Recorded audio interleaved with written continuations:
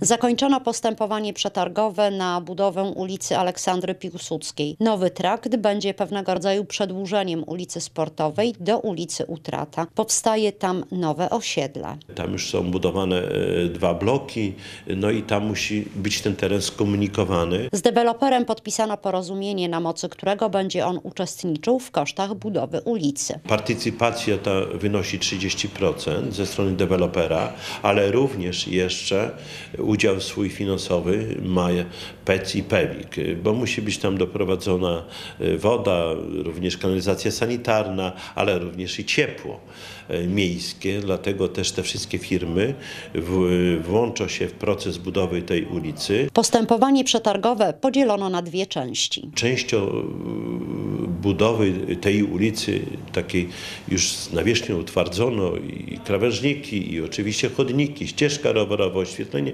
będzie zajmowała się nasza firma PDM, Przedsiębiorstwo Drogowo-Mostowe tutaj z Suwałk.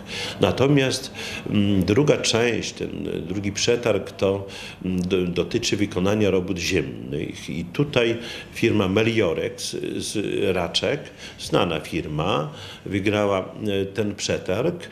Jeszcze wprawdzie nie mam podpisanej umowy, ale będzie to wkrótce. Prac ziemnych będzie sporo, bo z jaru, przez który poprowadzi droga, trzeba wybrać złoża torfu i wybudować spory nasyp. Ostatecznie na całkowicie y, wykonana ulica to będzie 30 wrzesień 30, y, przyszłego roku.